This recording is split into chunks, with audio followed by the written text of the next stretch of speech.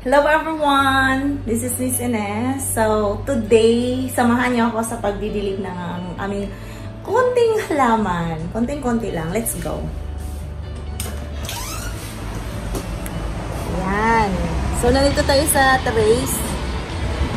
Yan, ito lang yung konting halaman ko. Dito lang ako kumukuha ng water. Pandilig ng aming halaman. Yan. I-try natin na dapat hindi pa hindi mainit. Okay. Dapat hindi siya mainit. Kaya marami namang faucet ito.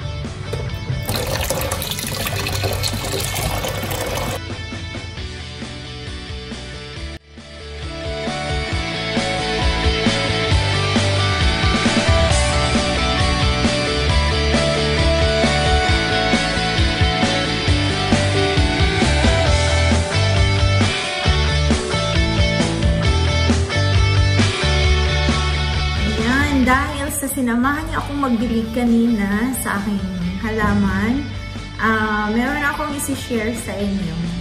Capillary action at saka osmosis.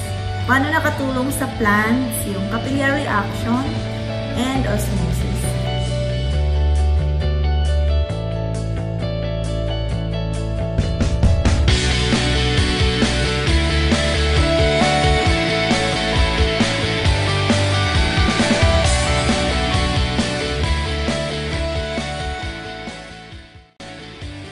So, yon ang ibig sabihin ng osmosis and capillary action.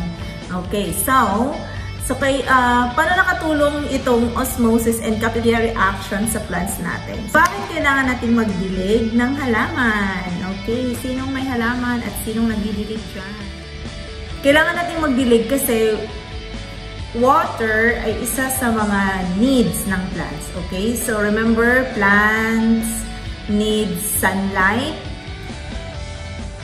air, nutrients from the soil, and water. Uh, going back to uh, the two terms that I mentioned, that I have mentioned a while ago, um, osmosis and capillary action. Bakit ba? Okay, so, paano kasi nata-trans, paano kasi na deliver ang water from the roots to the other parts of the plants? So, yung pinaka-first nun is osmosis. Osmosis. Saan nangyayari ang osmosis?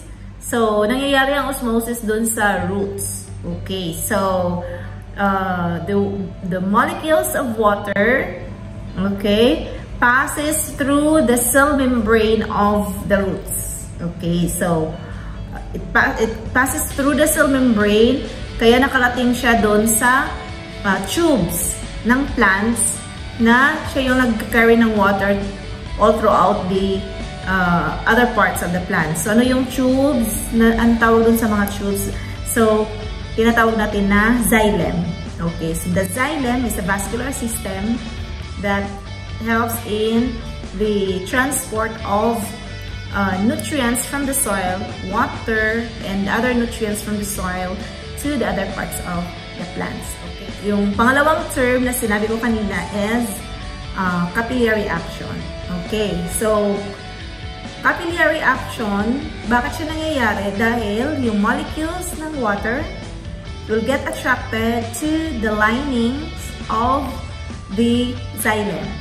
That's the reason why nagmo-move upward yung water. Just because of the attraction of molecules. O diba? Ang galing. We have osmosis and capillary action. So, those are the two processes that are that are very important for the plants to survive. Okay? So, yon magdilig ng halaman kasi kailangan ng halaman yung water in order to survive. And kapag nagdidilig, so it would be better na i-focus natin yung water or yung concentration ng water dun sa parts kung saan uh, may soil or dun sa roots. Focus natin dun sa roots. Okay? Other, it will be distributed to the other parts of the plants through the process known as capillary action.